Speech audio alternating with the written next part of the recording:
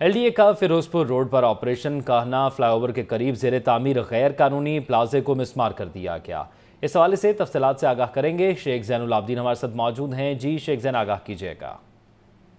جی ذوق احمد کے D G L D, Usman موزن کی ہدایت پر آج ایل ڈی اے کے شعبہ ٹاؤن پلاننگ کی جانب سے فیروزپور روڈ پر جو غیر قانونی طور پر عمارتیں تعمیر کی گئی تھی ان کے خلاف یہ آپریشن کیا گیا ہے۔ ڈائریکٹر ٹاؤن پلاننگ سلمان محفوظ کی سربراہی میں ہونے والے آپریشن کے دوران کانا فلائی اوور کے نزدیک دو غیر قانونی طور پر بننے والی جو عمارتیں ہیں، ان کو مسمار کر دیا گیا ہے۔ اس سلسلے میں لنگر فاٹک نزکانہ فلائی اوور پر زیر تعمیر کمرشل پلازا تھا، جس کی ایل ڈی اے سے کوئی منظوری نہیں لی دی گئی تھی۔